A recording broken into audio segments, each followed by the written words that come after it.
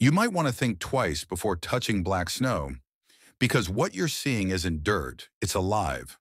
Those tiny black dots you see moving on the snow, they're actually called snow worms or ice worms.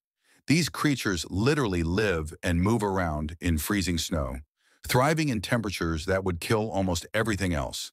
They're mostly found in glaciers in places like Alaska, Washington, and parts of Canada. And here's the creepy part. If you scoop up a handful of that dirty snow, you're probably holding thousands of living worms without realizing it. Scientists say they come out more when the snow slightly warms, feeding on algae and pollen. But once the snow melts and the temperature rises too much, they actually melt and die. Like living ice. So yeah, that black snow isn't pollution. It's a carpet of frozen worms wiggling right under your hand.